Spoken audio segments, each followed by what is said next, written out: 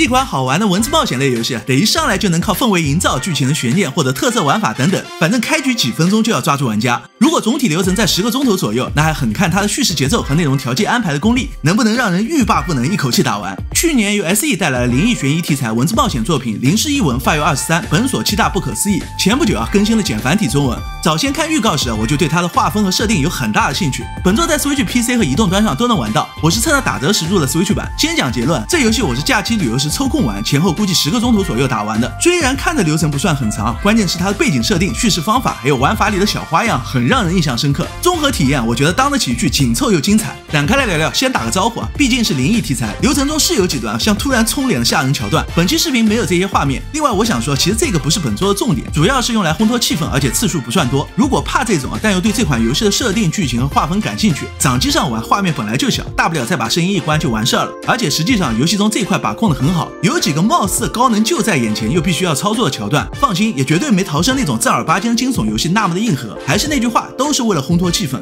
临时译文通过美术加配乐，再结合背景设定，营造出这种既有着浓浓古早味，又透着诡异气息的独特氛围感。坦白讲，是我当时看预告就被吸引的一大原因。另外，本作的背景设定很有意思。首先，标题里的本所七大不可思议，本所指东京墨田区南部的区域，在江户时代，这里曾发生数起怪异事件，觉得坊间流传，逐渐演变成七大怪谈。实际上，流传奇谈并不只有七个，与真实地点或事件结合的怪谈传说，往往最吊人胃口。要是不巧正好在自己住的城市，比如我在上海，小时候同学间大家也喜欢聊某商场惯例会放宝贝。对不起的 BGM，某高价龙柱等等都市传说，我相信很多地方都有类似的，不信谣不传谣，只是讲人往往都有好奇与猎奇心。这种融入灵异怪谈题材的文字冒险游戏，只要设定做得到位啊，先天就很容易抓住好这口的玩家。游戏故事则发生在昭和后期，剧当中的男主因为意外邂逅了热衷灵异事件的女孩，两人在深夜时前往锦溪库公园调查本所七大不可思议中和此处相关的气质区。到这里，故事看上去还是不作死就不会死的老套路。不过当随着毫不意外的意外发生了，九名分别得到了不同诅咒能力的狱主啊，不对，是咒主啊。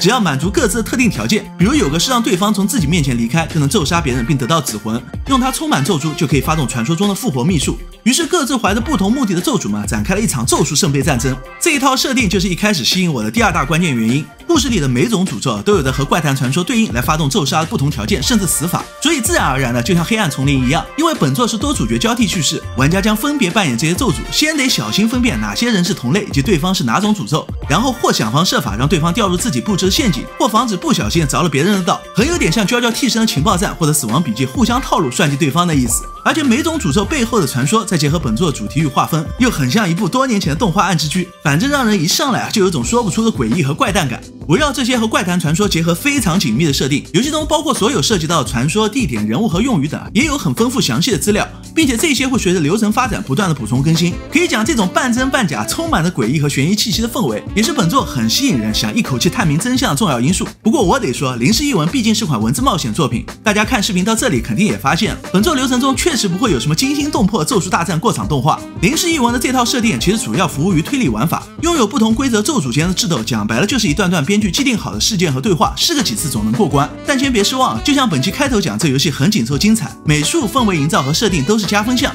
而文字冒险游戏的剧情叙事和玩法设计更是关键。以本所七大不可思议的传说、复活秘术以及咒主间明里暗里的互相算计作为串联，这游戏我上手最喜欢的地方就是从 S E 的 logo 界面指引人的铺垫，到序章没几分钟就把悬念和诡异气氛给拉满了。而且我当时玩这一段的时候正好是半夜，本能反应就是自己瞬间下意识先回头看了一眼背后，讲真那一刻的入戏感是真的强。然后还是在序章，接下来的一连串事件算是咒杀大战教程。但当你打完后，我这样讲，序章结尾绝对出乎意料。就在你的好奇心已经被吊足了之后，本作的故事正式展开，不同身份和目的以及潜藏在暗中的各路人物将交替登场，共同推动这段充满了诡异悬疑的怪谈故事。当推进了一段后，玩家可以一定程度上自由选择先体验哪段人物或去哪个地方。这一块其实要讲自由度有多大，或者是能展开多少分支路线，倒不至于。临时译文本质上内容体量不算大，它主要是围绕这套设定和故事玩得很花，包括这种人物和地点交替展开推动方式，中后期也会和玩法结合起来。最有意思的是，游戏中有几段情节的解法很巧妙，已经知道的朋友们别剧透啊！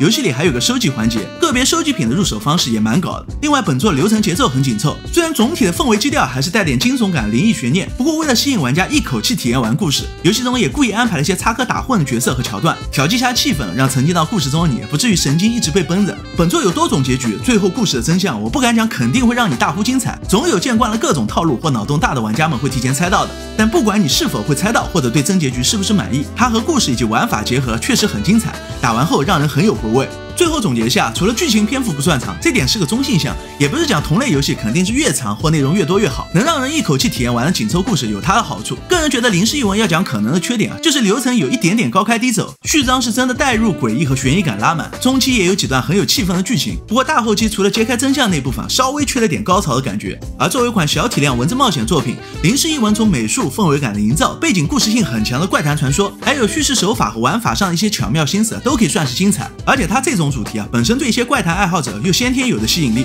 如果你看到这里，它的画风和设定正好对眼，也喜欢玩文字冒险类游戏，本作个人强烈推荐一试。喜欢怪谈传说加上灵异悬疑主题的玩家们更是不容错过了。好，今天的视频就到这里，最后谢谢大家的收看。如果喜欢的话，别忘了点个赞或者收藏。下期见，拜拜。